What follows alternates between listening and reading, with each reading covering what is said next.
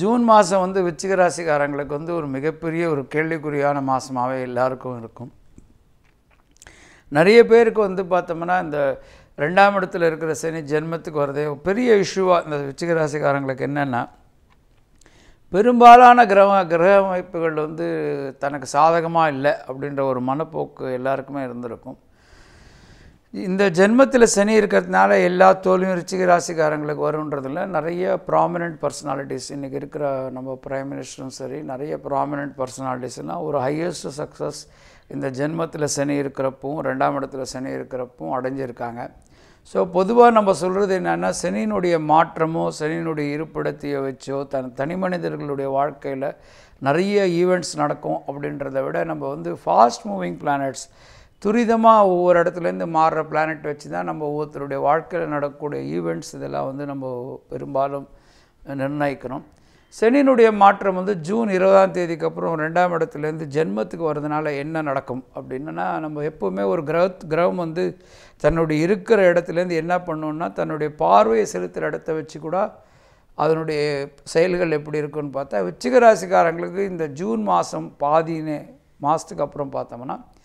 நிறைய பேருக்கு வந்து தன்னுடைய குடும்பம் அதாவது தன்னுடைய ஃபேமிலி சிஸ்டர்ஸ் இவங்க ஒய்ஃபு அப்புறம் வந்து தன்னுடைய father related issues or mother related issues நிறைய இவங்க பேரில் ஒரு கவனம் செலுத்தக்கூடிய ஒரு மாதமாக இந்த விச்சிகராசிக்காரங்களுக்கு அமையும். அவங்களுக்கு வந்து ஒரு உடம்பு சரியில்லாமல் போகிறதோ இல்லை அவங்களுக்கு வந்து ஒரு ட்ரீட்மெண்ட்டோ இல்லை ஒய்ஃபுக்காக ஒரு ஒரு நாலஞ்சு இடத்துல ட்ராவல் பண்ணிட்டு வரதோ இல்லை சிஸ்டர்ஸ்க்காக அவங்களுடைய வேலை எடுத்து பண்ணுறதோ இதெல்லாம் வந்து நிறைய பேருக்கு வந்து இந்த விச்சிகராசிக்காரங்களுக்கு நடக்கும். இவ்வளோ நாள் பத்தாம் இடத்துல இருக்கிற ராகு ஒரு நாலாம் இடத்துல இருக்கிற கேதுனால் நிறைய சுகம் இல்லாமல் இருந்தாலும் அதாவது இப்போ பார்த்தோம்னா நேரம் இல்லாத ஒரு ஒரு தீராத உழைப்பு இருந்தாலும் வந்து பத்தில் இருக்கிற ராகுனால் நிறைய நன்மைகள் வந்து ஃபாரின் இந்த மாதிரி டிரான்சாக்ஷன் இருக்கிறவங்க அப்ரா டிரான்சாக்ஷன் இருக்கிறவங்களுக்கெல்லாம் நல்ல ஒரு வாய்ப்பு ஏற்படுத்தியிருக்கும். பதினொன்றில் இருக்கிற காரு குரு வந்து இந்த அத்தனை ஒரு குழப்பத்தையும் வந்து தான் தன்னுடைய பார்வையினாலும் தன்னுடைய இருப்பிடத்தினாலேயும் வந்து ஒரு பேலன்ஸ் பண்ணிட்டு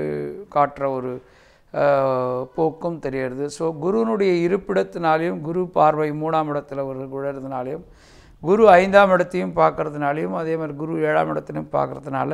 எல்லா விச்சிக ராசிக்காரங்களுக்கும் எத்தனை விதமான குழப்பங்கள் இருந்தாலும்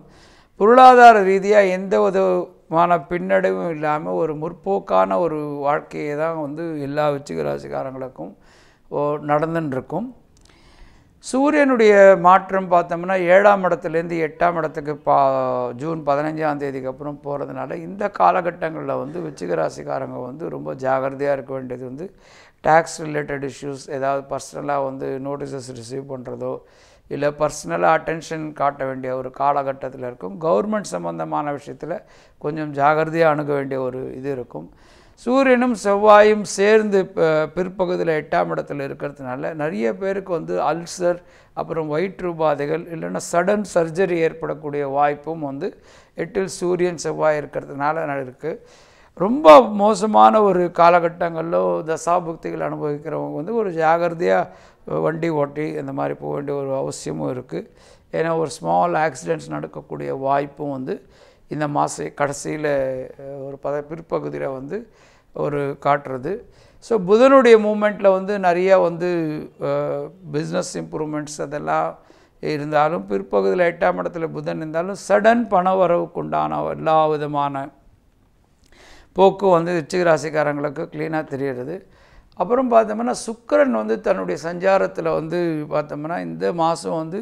விச்சிக ராசிக்காரங்களுக்கு இவ்வளோ நாள் ஐந்தாம் இடத்துல உச்சமாக இருந்து ஆறில் சுக்கரன் வர்றதுனால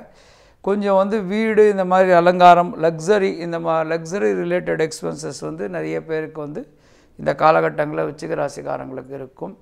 பொதுவாக வந்து நிறைய ஹெவி இன்வால்மெண்ட்டோடையும் நிறைய ஆதாயத்தோடையும் வந்து செலவு பண்ணிட்டுருக்கிறதுனால தன்னுடைய ஹெல்த்தை பாதுகாத்துக்கிறதுக்கு விச்சிகராசிக்காரங்க தன் அருகாமையில் இருக்கிற முருகர் கோயிலுக்கும் போயிட்டு வந்துட்டு இருந்தாங்கன்னா ஒவ்வொருத்தருடைய வ நம்ம வழிபாடுன்றது ஒவ்வொருத்தருடைய வசதி பொறுத்து ஒன்று கோயிலுக்கு போயிட்டு வரலாம். இல்லை வீட்டில் நம்ம தேவதார்ச்சனை முருகர் சிலை வச்சுக்கிட்டு அர்ச்சனை பண்ணி பூஜை பண்ணுற பழக்கமும் வச்சுக்கலாம். எக்ஸ்ட்ராவாக இந்த ஒரு மாதம் வந்து கோவிலுக்கு போயிட்டு வரதும் ப்ளஸ் வந்து தன் அருகாமையில் இருக்கிற பசு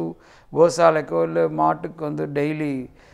ஃபீட் பண்ணுறதுனாலையும் நிறைய நன்மைகளை வந்து கூடி பெறத்துக்கு உண்டான வாய்ப்புகள் இருக்குது நம்ம ஜென்ரலாக சொல்கிற மாதிரி கிரகங்களுடைய சாரங்களை வச்சு நம்ம ஒரு இண்டிகேஷன் அது ஒரு சூசகம் சொல்லுவோம் சிக்னல் போஸ்ட் அப்படின்றது தான். ஸோ அது வந்து முடிவல்ல. அதே நேரத்தில் தங்களுடைய ஒவ்வொருத்தருடைய பர்சனல் தசாபுக்திகளை வச்சும் நன்மையும் தீமையும் அதிகமாக என்ன நடக்கும்ன்றது ஒரு இண்டிகேட் பண்ணலாம். ஸோ எல்லாத்தையும் சேர்ந்து ஒரு முடிவு எடுக்கிறது நல்லது. அதே நேரத்தில் ஜாதகம் இந்த ஒரு விஷயத்தை விட உங்களுடைய தவமும் ப்ரேயர்ஸும் வந்து அது உருவான ஒரு விஷயம். அதையும் சேர்ந்து பண்ணிட்டு வந்திருந்தாங்கன்னா ஒரு கூடுதல் நன்மை அடையக்கூடிய ஒரு காலமாக இந்த ஜூன் மாதம் அமையும். இந்த நிகழ்ச்சியை உங்களுக்கு பிடிச்சிருந்தா கண்டிப்பாக லைக் பண்ணுங்கள் ஷேர் பண்ணுங்கள் கமெண்ட் பண்ணுங்கள் பக்கா டிவியை கண்டிப்பாக சப்ஸ்கிரைப் பண்ணுங்கள்